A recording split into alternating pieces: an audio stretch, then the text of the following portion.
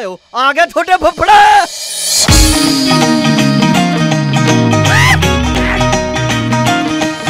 ਅਸੀਂ ਮਿਹਨਤਾਂ ਨਾ ਕੀਤੀਆਂ ਤਰੱਕੀਆਂ ਪੱਕੇ ਰੰਗਾਂ ਵਾਂਗੂ ਯਾਰੀਆਂ ਵੀ ਪੱਕੀਆਂ। ਅਸੀਂ ਮਿਹਨਤਾਂ ਨਾ ਕੀਤੀਆਂ ਤਰੱਕੀਆਂ ਪੱਕੇ ਰੰਗਾਂ ਵਾਂਗੂ ਯਾਰੀਆਂ ਵੀ ਪੱਕੀਆਂ।